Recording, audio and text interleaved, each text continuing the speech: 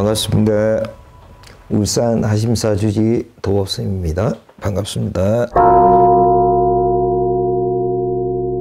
2022년 이민년 말띠의 흐름을 한번 보겠습니다. 말띠를 가지신 분들은 이민년에는 새로운 환경에서 새로운 일을 도모하면서 새로운 일을 하게 돼 이민년을 맞이하는 한 해가 되겠다. 저 기본적인 상승 기운과 내가 생각하고 왔던 것, 준비해 왔던 것이 이런 일들이 조성이 되고 이 사회에 내놓고 펼칠 기회가 생기는 한 해이겠다. 이렇게 보여집니다. 남이 아닌 나의 생각과 나의 의지로 뭐 새로운 환경을 찾게 되, 는 것이고요. 또 이동을 하게 되는 것이고 이런 것들은 이제 도피성이 아니고 새로운 일과 뜻을 평가하기 위한 이동이다. 이래 보시면 될 것 같습니다.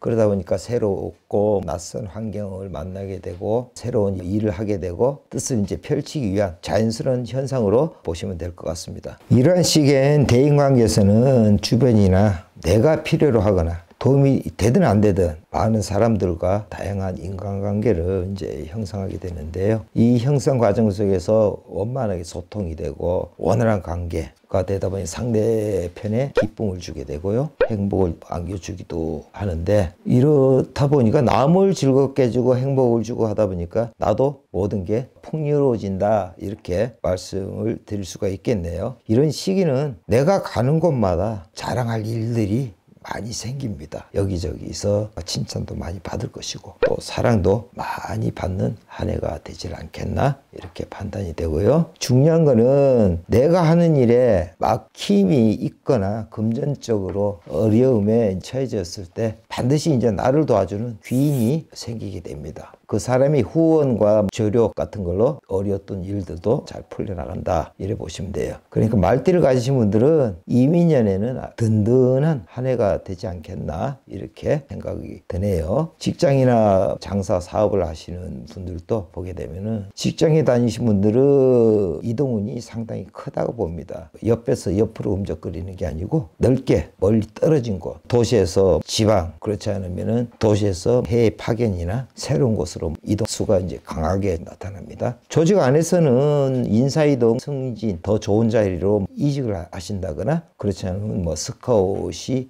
들어올 수도 있고 나하고는 맞지 않는 부서에서 근무하고 있다면은 내가 잘할 수 있는 것, 나의 전문 직종 이런 쪽으로 이동을 할 수 있겠고요. 취업이 안 되시고 쉬고 계신 분들은 취업 쪽에서 좋은 운이 들어오겠습니다. 예를 들어서 계약직이나 임시직, 정직으로 갈 수 있는 그런 운도 크게 작용을 한다고 보여집니다.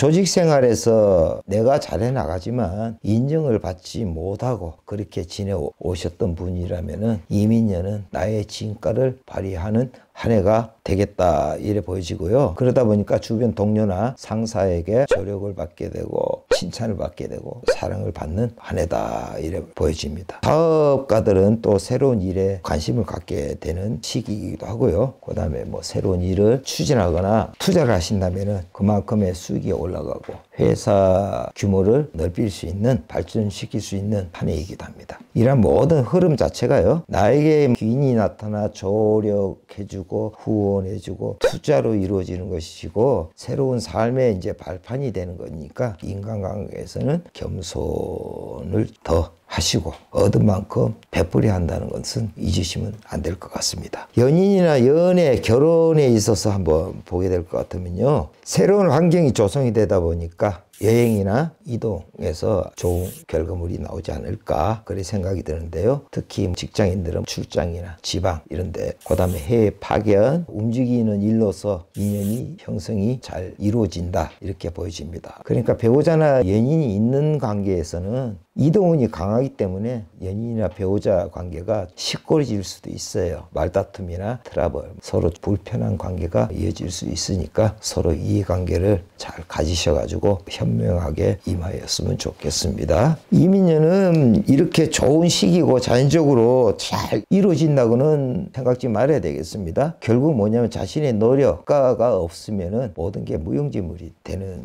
형국이니까 노력도 하지 않으시고 감남의 홍 홍시가 떨어지도록 입만 벌리고 있으면 떨어지는 일은 결코 없어요. 홍시가 열리면 본인이 따먹어야 되지. 만약에 입을 벌리고 오랜 세월이 지난 다음에 떨어질 수도 있겠지요. 그러면 얼굴에 떨어지면 입속 보담도 온 얼굴에 만신창이게 되겠죠. 좋은 시기일수록 더 노력하는 모습, 발전, 행복 이런 게 가득 들어오시도록 바라겠습니다. 오늘은 여기까지 하겠습니다. 자, 끝까지 시청해 주셔서 감사합니다.